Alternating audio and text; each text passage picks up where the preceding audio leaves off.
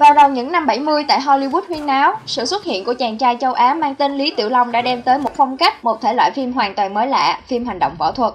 Kể từ đó, bên cạnh bom đạn hay đấu súng truyền thống, các nhà làm phim đã biết kết hợp thêm yếu tố võ thuật để làm cho tác phẩm của mình thêm đặc sắc. Chào mừng các bạn đến với Ten Tickers và hôm nay sẽ là top 10 phim võ thuật hay nhất của Hollywood.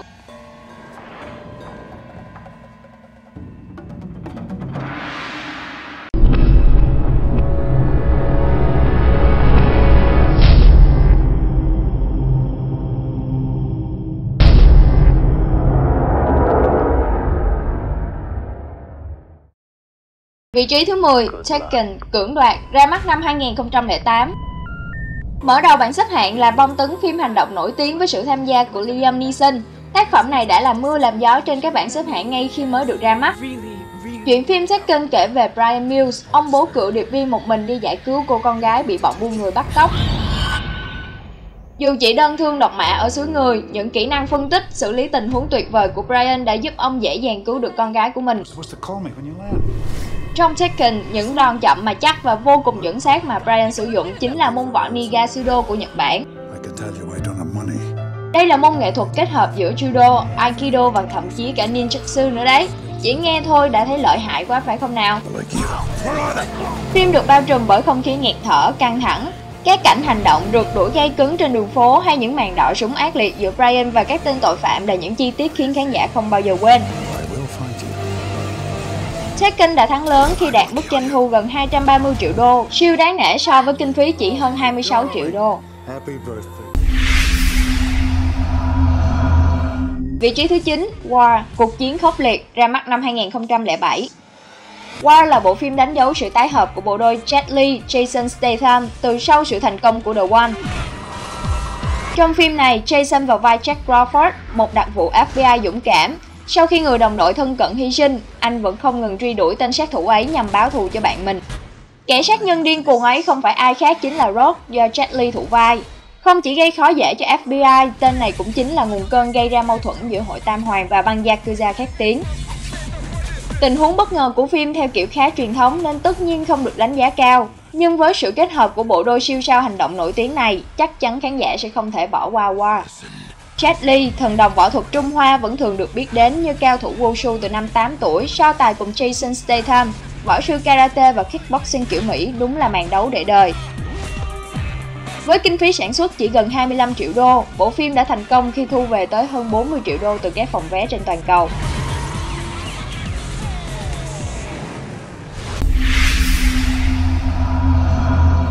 Vị trí thứ 8, Undisputed Free Redemption Đền tội ra mắt năm 2010. Undisputed 3 Redemption là phần thứ ba của loạt phim nói về người tù nổi tiếng trên sàn đấu quyền Anh, Yuri Boyka. Tiếp nối sự kiện sau lần so găng với tên George người băng ở phần 2, Yuri bị chấn thương khá nặng, phần chân gần như sắp liệt hẳn. Anh chấp nhận một cuộc sống mới im ắng, thậm chí còn tình nguyện làm cả việc quét dọn xà lim, Thế nhưng giải đấu tại nhà tù lại được tổ chức, tiếng gọi từ phần thưởng là sự tự do lại khiến anh không thể làm ngơ. Yuri Boyka tái xuất. Với thể loại phim tiểu sử, diễn viên chính luôn là tâm điểm của mọi cảnh quay, đặc biệt hơn khi Disputed có chứa những màn đấu đỉnh cao. Diễn xuất của nam chính Scott Atkins lại càng quan trọng hơn. Cũng chính sự hóa thân xuất sắc của anh đã làm nên sự thành công của series phim này. Vốn sở hữu thành tích võ thuật đáng tự hào trong các môn Taekwondo, Karate hay Muay Thái, nhân vật Yuri Boyka đúng là Donnie đóng giày cho Scott. Thông qua bộ phim này, không những khán giả có cơ hội được chiêm ngưỡng một huyền thoại, nó cũng đồng thời mang lại danh tiếng lẫy lừng cho chính Scott Atkins. Nhờ sự hòa trộn hoàn hảo giữa những yếu tố kỹ thuật boxing và nghệ thuật quay phim, bộ phim đã để lại cho người xem rất nhiều dấu ấn sâu đậm.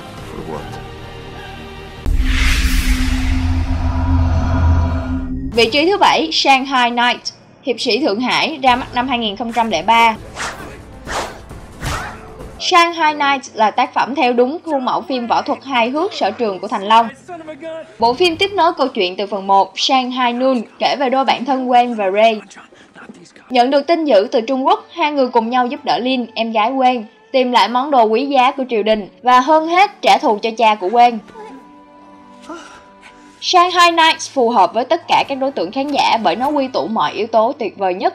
Thể loại phim hài dễ xem, diễn viên đa dạng từ Âu tới Á và đặc biệt hơn là những pha võ thuật đẹp mắt đến từ Jackie Chan nổi tiếng. Không chuẩn mực như trong các phim thuần châu Á, các phân cảnh hành động của Thành Long kết hợp nhuần nhuyễn sự chuẩn xác của cung phu và tiết tấu sôi nổi mạnh mẽ mà phim hành động Mỹ thường có. Diễn xuất hài hước, linh hoạt của dàn diễn viên khi kết hợp với nhau lại càng khiến cho bộ phim dễ dàng chiếm được tình cảm từ khán giả. Phim thu về hơn 88,5 triệu đô khi ra mắt khán giả toàn cầu, một con số khá ổn cho một bộ phim kinh phí thấp.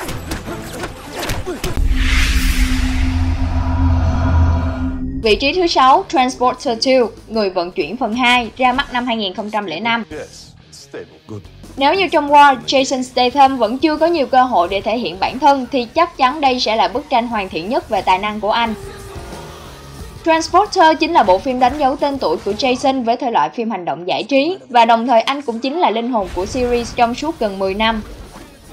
3 năm sau phần đầu tiên, nhân vật Frank tái xuất với tư cách tài xế riêng cho một gia đình Mỹ giàu có. Anh trở nên thân thiết với cậu con trai Jack đang học tiểu học của gia đình này. Một ngày nọ, Jack bất ngờ bị bắt cóc và Frank sẵn sàng làm mọi thứ để đưa cậu bé trở về an toàn. Trên hành trình giải cứu Jack, Frank còn phát hiện một âm mưu khủng bố liên quan tới vũ khí sinh học giết người. Bên cạnh những làn mưa đạn quen thuộc, những pha đấu tay đôi của Jason đã góp phần làm nên tên tuổi lừng lẫy cho bộ phim. Những miếng đòn của Jason vừa chuẩn xác lại vừa uy lực, khiến các fan của dòng phim võ thuật không khỏi phấn khích.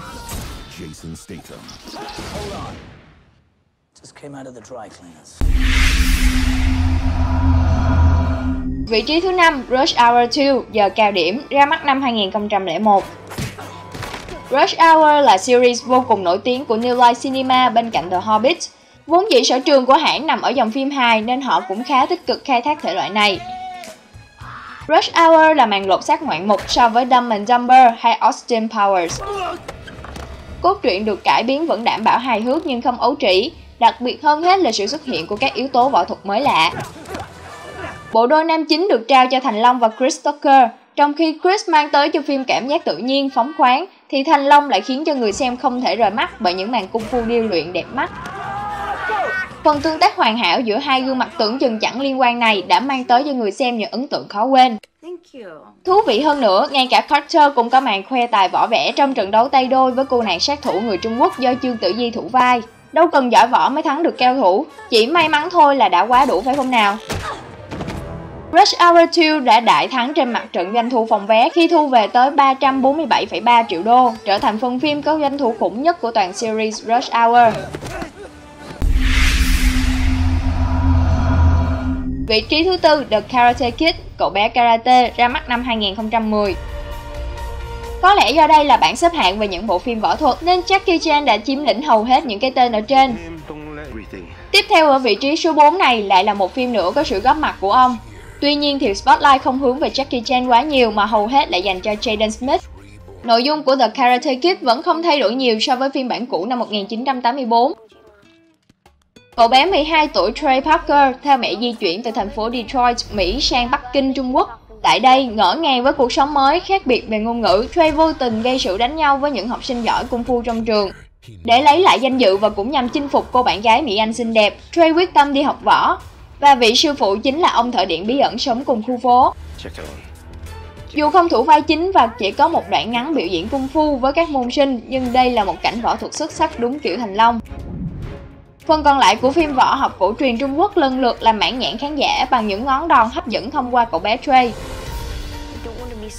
Nói Karate Kid là phim có phần võ thuật ấn tượng nhất trong số các phim lứa tuổi học đường, có lẽ không oan chút nào.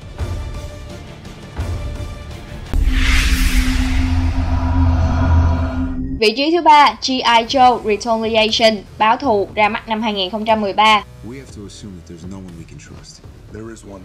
Retaliation tiếp nối câu chuyện từ phần 1, đội quân G.I. Joe không những phải chiến đấu với kẻ thù truyền kiếp Cobra mà còn phải đối mặt với những hiểm họa cho sự tồn tại của họ từ phía chính phủ, mà đứng đầu bây giờ là Zartan trong lúc tổng thống.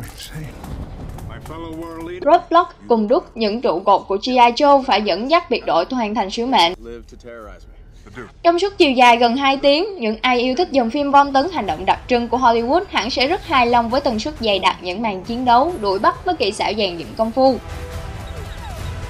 Điểm sáng lớn nhất của phim chính là sự trở lại của bộ đôi ninja bảo ảnh và xa nhãn với kỹ thuật siêu đẳng không chê vào đâu được. Một trong những cảnh đẹp nhất chính là trường đoạn các ninja của Fair Cobra cùng với xà nhãn và nữ đệ tử xinh đẹp Jinx tỷ thí trên núi tuyết. Với sự trợ giúp của hiệu ứng 3D, hình ảnh các ninja phi thân đu dây từ nơi này sang nơi khác trên độ cao hàng trăm mét sẽ mang tới cảm giác hưng phấn, thích thú.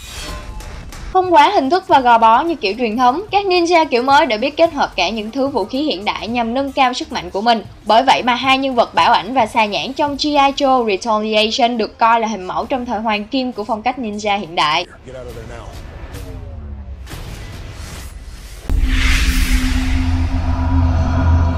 Vị trí thứ hai, Kill Bill ra mắt năm 2003. Vị trí áo quân của bảng xếp hạng, cái tên thuộc vào hàng huyền thoại của Hollywood, chắc hẳn đã quá quen thuộc với người yêu điện ảnh. Bộ phim cụm mát Quentin Tarantino này đã để lại dấu ấn sâu đậm đối với làng điện ảnh bởi sự hóa thân của kiều nữ Uma Thurman và một cốt truyện lạ đời. Thêm vào đó là những màn đấu kiếm máu me rùng rợn, trong phim, Uma Thurman vào vai một nữ sát thủ bị ông chủ của mình là David Carradine phản bội, lãnh một viên đạn vào đầu và hôn mê 4 năm ròng rã. Bỗng một ngày kia, cô gái chợt hồi tỉnh, phẫn nộ vì bị đối xử tệ bạc. Từ giây phút ấy trở đi, cô quyết tâm trả thù lại đội quân của Carradine, giành lại công bằng cho bản thân. Tính cách ngoan cường rắn rỏi của The Bride được bộc lộ rõ qua những tháng ngày khổ luyện gian nan. Lòng căm thù đã biến cô từ một người phụ nữ bình thường trở thành ninja siêu hạng, một sát thủ máu lạnh. Uma Thurman phô diễn sức mạnh của The Bride qua những trận đấu tay đôi rất rất không cân sức, nhưng với trình độ kiếm đạo siêu đẳng, cộng thêm những trang bị từ ninjutsu, cô dâu báo thù vẫn không hề bị cản bước. Ngoài Uma Thurman, mỹ nhân châu Á Lucy Liu cũng khiến khán giả trầm trồ với những đường kiếm uyển chuyển chết người. Bộ phim đạt rating lên tới 8.1 trên 10 điểm IMDb và cũng nhận được nhiều lời khen từ phía các nhà phê bình như A. Scott của tờ The New York Times hay Roger Ebert. Kill Bill sẽ là lựa chọn hoàn hảo với những fan yêu thích thể loại phim hành động nhưng cũng thích những màn đấu trí gay cấn.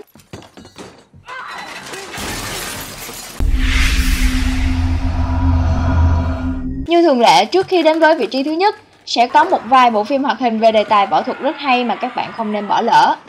Kung Fu Panda Câu chuyện về thần Long Đại Hiệp lại là một anh chàng gấu trúc béo ú, cho thấy chân lý rằng nỗ lực sẽ giúp ta làm nên tất cả. Kubo and the Two Strings Tác phẩm stop motion mới nhất của Laika Entertainment lấy bối cảnh đất nước Nhật Bản xinh đẹp với mô típ siêu anh hùng hợp thời cũng là một lựa chọn rất xứng đáng cho kỳ nghỉ cuối tuần.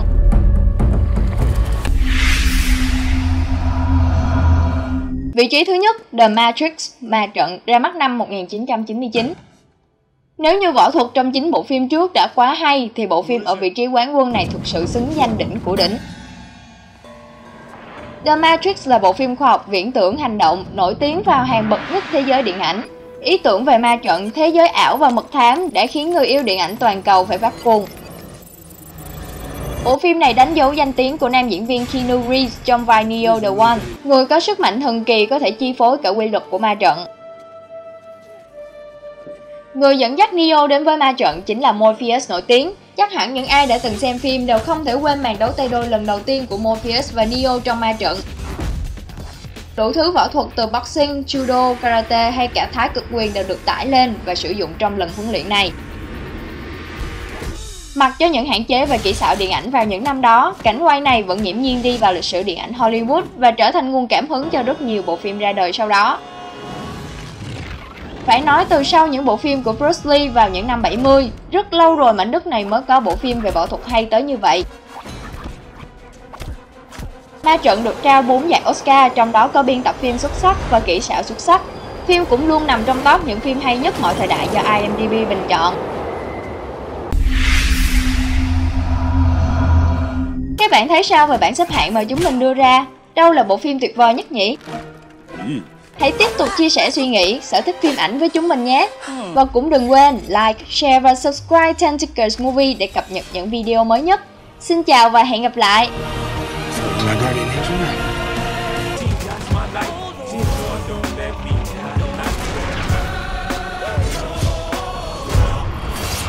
Anything I missed, General? I just want to go home. This is home.